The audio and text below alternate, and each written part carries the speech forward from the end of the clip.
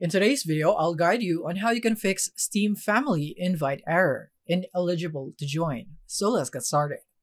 So basically, why this happened is because you don't have the same IP address. That is why you are not able to join the Steam Family Invite. Because Steam would scan your IP address before it could finalize to add you into the Steam family of whoever added you into their family. So you would have to have the same IP address. And the only way for you to do that is to go into their place and connect to their Wi-Fi. And that way you would have the same IP address and Steam would detect that you are in the same location, hence a family.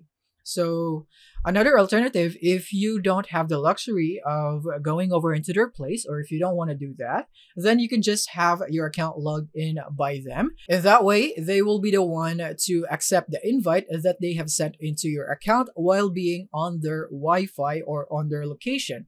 And that way, it should work and Steam should finalize the addition of your account to their uh, family here on Steam.